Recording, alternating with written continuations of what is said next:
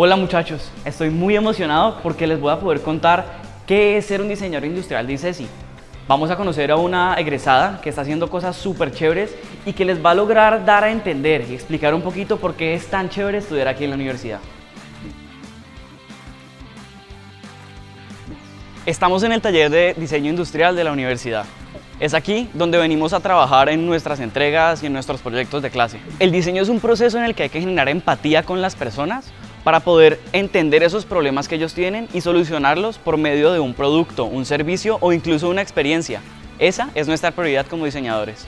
Hay gerentes de diseño, diseñadores independientes, investigadores, desarrolladores de producto, analistas, funcionarios públicos y claro que sí, algunos de nuestros egresados hará mobiliario. Unos serán empleados de grandes empresas, otros serán emprendedores de sus propias empresas. Lo que sí te puedo decir es que si estudias diseño industrial acá en ICESI, vas a encontrar espacios increíbles como el taller de diseño en donde estamos, el InLab y muchos laboratorios que son los mejores para trabajar en equipo, ser creativo e innovar.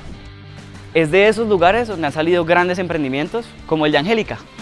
Bueno, yo soy la diseñadora y alfarera de mi empresa, se llama Angelic Ceramics.